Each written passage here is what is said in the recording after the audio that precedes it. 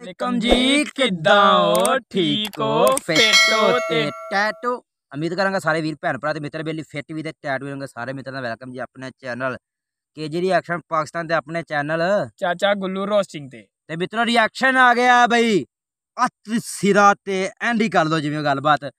ਗਾਣਾ ਜੀ ਟੀਜ਼ਰ ਹੈ। ਬਾਈ ਮੂਸੇ ਵਾਲੇ ਨੇ ਕੱਢਿਆ ਦਾ last ride ride last ride ਤੇ ਦੇਖਨੇ ਆ ਪਹਿਲੋ ਟੀਜ਼ਰ ਤੇ ਫਿਰ ਕਰਾਂਗੇ ਰਾਈਡ ਦੀਆਂ ਗੱਲਾਂ ਬਾਤਾਂ ਤੇ ਬਣੇ ਰਹੋ ਨਾਲ ਲੈਟ ਗੈਟ ਤੇ ਸਟਾਰਟਡ ਸਿੱਧੂ ਮੂਸੇ ਵਾਲਾ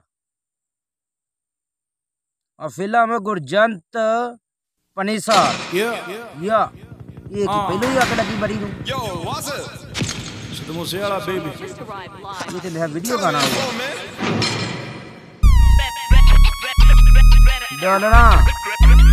Oh,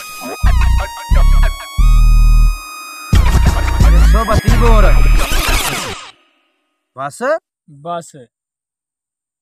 ਰਿਲੀਜ਼ਿੰਗ ਟੂਮਾਰੋ ਕੱਲ। ਸਵੇਰੇ ਬਾਬਾ ਜੀ ਅੱਤ ਤਰੀਕੇ ਨਾਲ ਤੇ ਸਿਰੇ ਤਰੀਕੇ ਨਾਲ ਆਏਗਾ ਬਾਈ ਗਾਣਾ ਇਹਲਾ ਮੁਕੰਮਲ ਤੇ ਫਿਰ ਵੇਖਾਂਗੇ ਬਾਈ। ਕੀ ਬੰਦਾ? ਕੀ ਇਹਦੇ ਚ ਬੋਲ ਬੋਲੇ ਗਏ ਨੇ ਬੋਲ ਤੇ ਕੋਈ ਨਹੀਂ ਬੋਲਿਆ ਹੁਣ ਤੇ ਸਿਰਫ ਸਾਰਾ ਸਾਊਂਡ ਜਿਹਾ ਹੀ ਪਾਇਆ ਤੇ ਬਸ ਵੀਡੀਓ ਸ਼ੀਡੀਓ ਛੋਟੀ ਜਿਹੀ ਬਣਾਈ ਆ ਕਿਤੇ ਟਾਇਰ ਚੁੱਕਿਆ ਤੇ ਕਿਤੇ ਬੰਦਾ ਚੁੱਕਿਆ ਤੇ ਕਿਤੇ 32 ਬੋਰ ਪਿਆ ਤੇ ਕਿਤੇ 132 ਬੋਰ ਪਿਆ ਤੇ ਕਿਤੇ ਨਕਾਬ ਪੈ ਰਹੇ ਨੇ ਕਿਤੇ ਕੁਝ ਹੋ ਰਿਹਾ ਤੇ ਕੰਮ ਹੋਣੇ ਨੇ ਨਕਾਬ ਪੋਸ਼ਾਂ ਵਾਲੇ ਤੇ ਗੱਲ ਕੀਤੀ ਜਾਵੇ ਦੀ ਲਾਸਟ ਰਾਈਡ ਤੇ ਲਾਸਟ ਰਾਈਡ ਦਾ ਮਤਲਬ ਹੈ ਕਿ ਯਾਨੀ ਕਿ ਆਖਰੀ ਸਫ਼ਰ? ਆਖਰੀ ਸਫ਼ਰ, ਆਖਰੀ ਰੇਸ ਜਾਂ ਆਪਣੀ ਖੁਆਇਸ਼ ਪੂਰੀ ਕਰਨ ਵਾਸਤੇ ਜਿਸ ਨੂੰ ਕਹਿ ਸਕਦੇ ਆ ਕਿ ਅਸੀਂ ਕੰਮ ਕਰਨੇ ਆ ਉਹ।